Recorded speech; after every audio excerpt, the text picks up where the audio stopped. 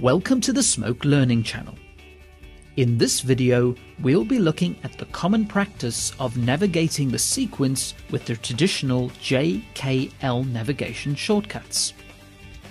If you're coming from other nonlinear editors, this is a standard working practice you should be familiar with, and Autodesk Smoke offers you similar functionality.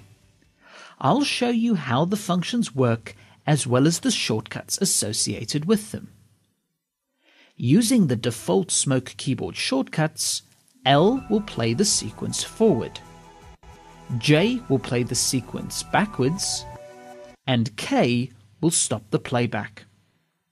To increase forward playback speed, simply press L multiple times during playback. There is also a speed indication that appears to the right of the player's scrub bar. The same principle is applied to playing the sequence backwards using the J shortcut. Press the shortcut multiple times and the playback speed will increase. To decrease the playback speed when playing forward, press the L shortcut to start the playback. Now press Shift L multiple times and the playback speed will decrease. This is also shown in the indicator to the right of the player's scrub bar.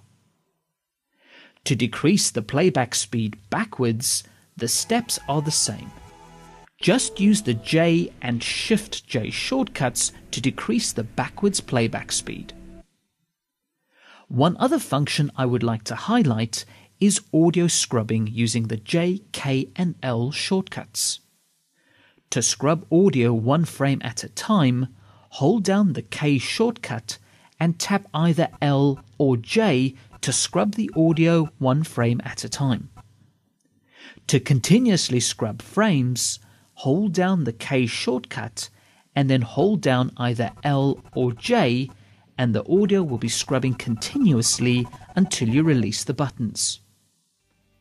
If you want to have the audio scrub on permanently when dragging the positioner, go down to the options menu and at the top of the pop-up list, you can enable scrub audio.